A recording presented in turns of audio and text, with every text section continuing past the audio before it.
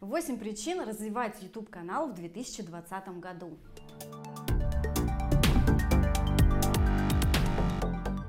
Привет! С вами на связи Юлия Измайлова, практик по продвижению онлайн и офлайн бизнеса через YouTube, основатель агентства YouTubis.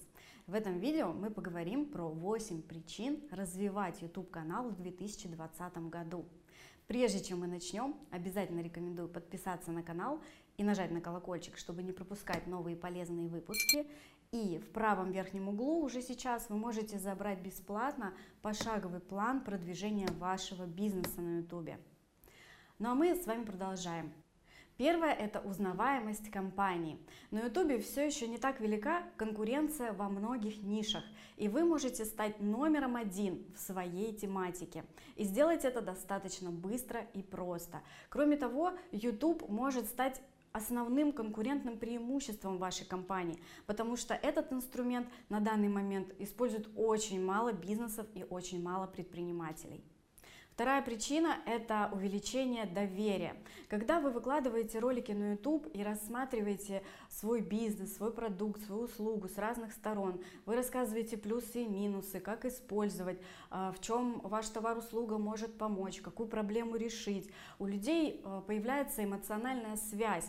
Когда они начинают следить за вашими видео, они более глубоко погружаются в тему и становятся а, такой неотъемлемой частью даже вашего бизнеса, и им намного проще прийти и э, за счет того, что они уже многое знают и доверяют вам, отдать вам просто деньги и купить ваш товар и услугу.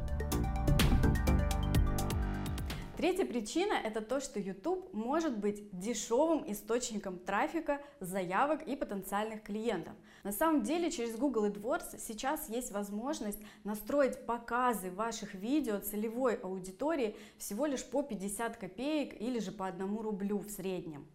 Четвертое – это сокращение бюджета на SEO-оптимизацию сайта, которая достаточно дорогая и долгосрочная. Ролики сейчас оптимизировать, это как раз пятая уже причина, и вывести в топ намного проще и быстрее. Шестая причина – это генерация полезного контента. Когда вы записываете видео на разные темы, которые могут быть интересны потенциальной целевой аудитории, во-первых, один раз записав ролики, они работают на все время существования вашего бизнеса.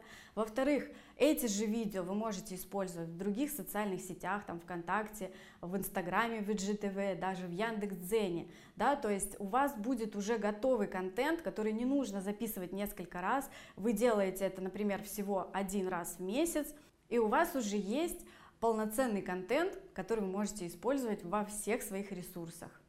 Седьмая причина – это бесплатные клиенты и продажи за счет попадания вашего видео в рекомендуемые и на главную страницу к целевой аудитории.